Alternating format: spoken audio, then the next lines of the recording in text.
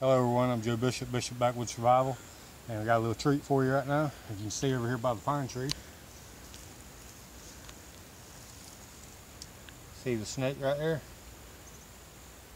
This is what they call a coach whip, and you don't see very many of them. There's, there's not a whole lot of them around. They're pretty cool snakes.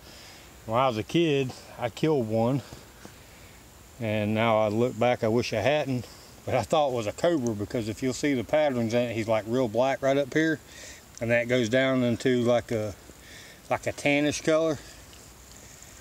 And uh, let's see if I can get him out here.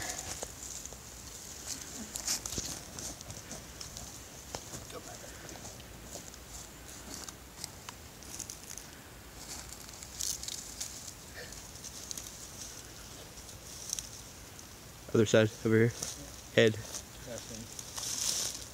By your foot. He's wanting cover what he's wanting to be. But uh, Over here. there he goes.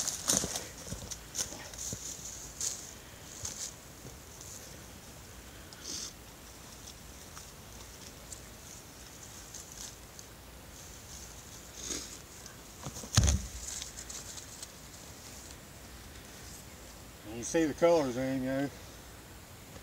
When I was a kid, I swore to God, because this pattern back here, I drove that sucker home, and you can't smell it right now, but he just musted me, and it don't smell real good. But uh, when I was a kid, I killed one, because I thought I'd killed a cobra, and that thing was probably about seven feet long. And I drug that sucker to the house. I killed the first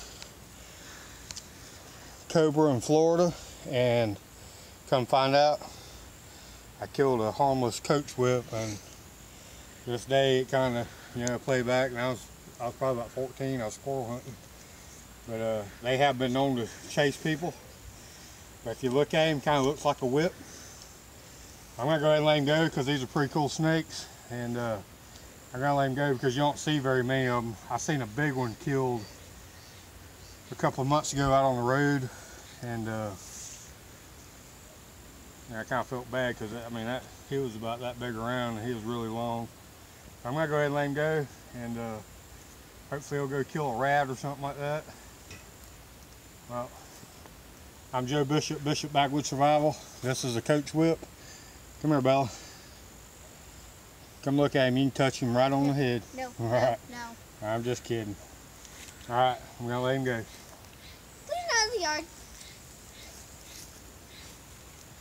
I'm Joe Bishop, Bishop Backwoods Survival. Y'all have a good day.